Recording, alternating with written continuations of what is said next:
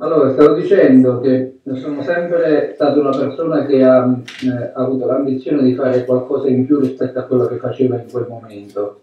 E non mi ha mai spaventato il cambiamento, anzi questa è una cosa molto importante che fa parte della mia vita, no? cambiare, quando, quando vedi che vuoi qualcosa di più non mi sono mai tirato indietro. Tant'è vero che sono stato eh, una persona, come, dice, eh, come, qualcuno dice, coraggiosa no? ad aver lasciato un posto statale per poter fare qualcosa di diverso. Sì, perché in quel momento sentivo che volevo fare qualcosa di nuovo per me stesso e quindi ho accettato la sfida di questo cambiamento e da lì è nata una cosa molto bella che ho creato la mia nuova vita lavorativa e, e in questa cosa mi sono ritrovato nonostante ci fossero eh, le Rosario, ti dispiace accennare al lavoro che facevi prima e al lavoro, no, e al lavoro dopo?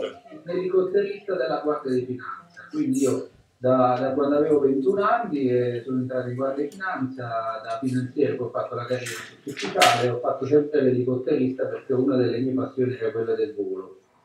Ma eh, dopo tanto tanto tempo che facevo questo, questo lavoro, un po' eh, era giunta in me eh, una, la voglia di, di, fare qualcosa di più, qualcosa di diverso, qualcosa che mi appartenesse. Eh, anche perché, sì, per l'amor del cielo non voglio sputare il piatto in cui ho mangiato per 21 anni, però io avevo intenzione di fare qualcosa di mio, ero stato sempre affascinato dalla, dalla libera professione. E, e quindi quando nel 2009 ebbi la sensazione che c'era la possibilità di un nuovo settore, all'epoca le, la liberalizzazione delle poste era appena cominciata eh, c'era un po' una sofferenza nel mondo delle poste tradizionali, allora ho deciso di cambiare eh, e creare un nuovo soggetto che era appunto la posta alternativa al sistema tradizionale, cosiddette poste private, ma dove le persone potessero fare tutto ciò che facevano imposta ma in un luogo completamente diverso, magari con servizi anche diversi. E lì raccolse questa sfida, fu, eh, potete immaginare la famiglia, no? tutti quelli che stavano intorno a me, quante persone mi dicevano no ma che stai facendo, ma eh, perché lasci il, il certo per incerto, queste cose. Eh, ma io avevo sempre questo desiderio di andare avanti e provare a fare questa cosa e l'ho voluta fare ed è andata bene perché abbiamo creato nel 2009 la nuova posta e un franchise che ancora tuttora è sul mercato italiano e da lì tutte le altre esperienze poi sempre in questo settore dei multiservizi perché ero appassionato dal fatto che ci potesse essere una liberalizzazione e quindi la possibilità di fare cose nuove, ecco le cose nuove. Quindi io sono una persona che di fronte alle novità, quando vedo che è una cosa che mi piace, eh, cerco di farla e di farla sempre al meglio e soprattutto come dicevo stamattina quando poi lessi eh, il, eh, il, lavoro ben fatto riconoscevo, anzi scrissi proprio a te Vincenzo sembrava che in alcune parti stesse pensando a me no? quando scrivevamo quando scrivere il libro questa è una cosa che poi ho letto in, in molti commenti quindi questo vuol dire che ricalca un po' ognuno di noi queste persone eh, multipotenziale, come ama chiamare appunto eh, Jepis, e questa è un'altra cosa che ho scoperto grazie a lui, la multipotenzialità. Quindi la, le, quelle persone che quando eh, fanno una cosa la devono fare bene al massimo delle, eh, delle, delle, della potenzialità. E quindi questo è stato il mio percorso e ancora oggi eh, vado avanti su questa strada, ma ci sono tante strade che nel frattempo si sono intrecciate e quindi eh, confermo che ho avuto una buona, una buona, idea e non mi sono assolutamente pentito della scelta fatta. Certo, un po' eh, ho abbandonato una delle passioni che erano quelle da bambino, no? di fare eh, l'elicotterista, quindi il volo, ma quella rimane sempre, poi come tutto. Quindi questa è, la, è l'esperienza che voglio portare un po' a tutti. Il nostro amico Vito Verrastra qui è un giornalista che tra l'altro è anche il fondatore di una radio web che si chiama Lavoradio, è uno dei fondatori del giornalismo costruttivo, e, insomma quindi lavora, lavora, su questi temi. Vito, ti ha ispirato qualcosa? Beh, mi ha ispirato tanto, anche perché, anche perché condivido perfettamente, io non ho, non ho avuto un passato di, da dipendente, ma, ma, ho scelto di fare il freelance, libero professionista, senza pentirmi mai, ma quello che ti voglio dire è che hai continuato a volare. No, con, questa, con, questa, scelta hai continuato a, a, volare, forse in maniera anche più senza rete, no? un po' più sfidante, adrenalinica come un po' di prima. Come i trapezzisti. Come i trapezzisti, esattamente. Con il rischio che a volte la rete non c'è sotto, però l'abbiamo accettata. Però è stata una, quella scelta libera che tu hai fatto, credo, diversi anni fa e che oggi... 2009, 13 anni fa. E che oggi invece notiamo, Vincenzo, come tendenza, no? Perché la gente lascia il lavoro che fino al pre-Covid non aveva mai messo in discussione per abbandonarlo e fare qualcosa che abbia più senso. Per te è stata quell'operazione, non è avvenuta uh, con il Covid, sarà avvenuta per qualche... c'è stata una scintilla che ha generato questo cambiamento o è stata una, un'evoluzione naturale?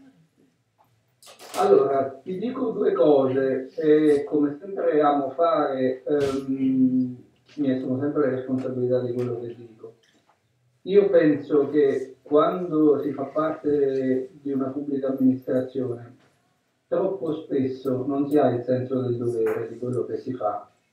Ci si culla sul fatto che al 27 del mese i soldi arrivano lo stesso e troppo spesso ci sono persone che, io dico, galleggiano su questa cosa. A me non piaceva quel tipo di atteggiamento non piaceva quell'arrivismo fatto di persone che solo che si nascondevano dietro un grado, un qualcosa, eh, si sentivano arrivati o solo per, per indossare una divisa, alcune volte si sentivano anche autorizzati a, a offenderla quella divisa, perché eh, sapere che ci sono delle persone che ti pagano per fare un determinato lavoro, per l'amore del cielo, non tutti sono così, non si fa di tutta l'erba un fascio, voglio dire. Però purtroppo nella pubblica amministrazione era un po' diffusa questa cosa. Io mi sentivo in difetto nei confronti di chi mi pagava, pur facendo un lavoro molto importante, ricordo che sono stato una, eh, molte volte a Lampedusa e ho salvato tantissime vite perché comunque ero un aereo soccorritore, quello era bellissimo e quella è la parte del mio lavoro che mi manca. Mi stava un po' stretto il fatto della dipendenza da un ruolo militare ok? Questa, questa, cosa di non poter esprimere al massimo, perché anche se tu hai un'eccellenza, arrivava sempre qualcuno che dice no, ma quello non è compito tuo perché tu sei maresciallo, a questo ci deve pensare l'ufficiale. Questa è un po' la malattia della pubblica amministrazione, ripeto, mi assumo sempre la responsabilità di quello che dico. E se fosse un po' più meritocratica, ma dal vero punto di vista di meritocrazia, sarebbe più giusto. Vi faccio solo un esempio, in tutte le parti del mondo dove noi andavamo con gli elicotteri, atterravamo per esempio in Spagna e c'era sempre un maresciallo, per esempio un qualcuno della, in quel caso della forza aerea spagnola, e loro fuori dal servizio potevano anche intraprendere un'altra attività se non sono soddisfatti economicamente, qui anche un altro punto di vista de, della mia scelta, se, non erano, se loro erano solo soddisfatti economicamente di quello che percepivano, fuori dall'attività eh, lavorativa senza intaccare l'attività lavorativa possono svolgere un'altra. Allora vedi quello che ti ah, stasera vedi che ho la mia pizzeria che aspetto, quella magari ti portavo un'altra parte. Questa è un'altra cosa. Io dico che siamo troppo legati a dei retaggi culturali troppo antichi, anche dal punto di vista di queste, queste leggi. Anche se oggi devo dire che la professionalizzazione sia nella Guardia di Finanza, in tutte le corpi armate dello Stato e nelle forze armate è elevatissima perché e gli allievi sottufficiali escono già con una laurea, questo è bellissimo. C'è la professionalizzazione di settore. L'unica cosa che va in controtendenza con quella della professionalizzazione è il lato economico. Gli stipendi di un uh, dipendente della pubblica amministrazione sono rimasti al 1978 e non sono stati al cambiamento in questo caso e troppo spesso chi sceglie di fare una seconda attività purtroppo anche in deroga a quella della normativa lo, lo, fa perché forse in una famiglia non ce la fa a mantenersi. Io penso che chiunque eh, eh, fosse, eh, eh sia soddisfatto sia dal punto di vista lavorativo che economico non cerca un'altra attività Certo. Se uno cerca qualcosa di diverso, un po' come nella vita, perché quello che hai non ti basta, e uso dico questo a 360 gradi. A me è un, un po' le due cose. Ci stanno domande, curiosità da parte delle altre amiche. No, c'è. Patrizio che ti saluta. Ci sta Patrizio Fiscina che ti saluta. Ciao. Forse Ciao, Patrizio, non lo ciao, sente ciao. Va, bene. va bene, va bene. Senti, eh, niente, io direi, eh, direi che ci possiamo anche, diciamo, come dire, ci possiamo anche eh, fermare qui. Eh, l'ultima curiosità che ho eh, anche con te, eh, la prossima sfida lavorativa naturalmente. Guarda, la prossima sfida non è lavorativa e te la dico subito perché Jeffy lo sa Jeffy se lo conosce. Io in questo momento, al di là del, del lavoro, mi sto dedicando a una cosa bellissima. E oggi mi dispiace non essere venuto, ma devo completare il lavoro per cui mi sto dedicando tantissimo al cammino di San Nilo. Ah, a far sì che questa grande opportunità che noi abbiamo nel territorio possa diventare veramente un turismo alternativo, un qualcosa di alternativo, perché io faccio parte del comitato di tappa di Sapri e sto realizzando la pietra miliare da mettere sul cammino con un'iniziativa mia, con una mappa che ho preso tutti gli albergatori e tutti i ristoratori che mi hanno dato un contributo,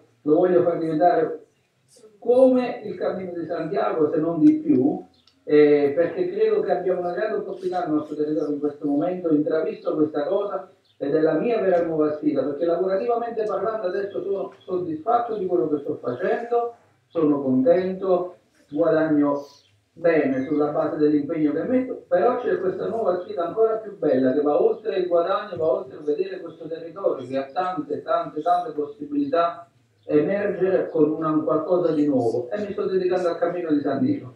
che meraviglia! Eh, Grazie mille, grazie mille, grazie. Buonanotte di lavoro. Buonanotte andate a te, continua a seguirci, grazie, ciao, ciao, ciao. ciao.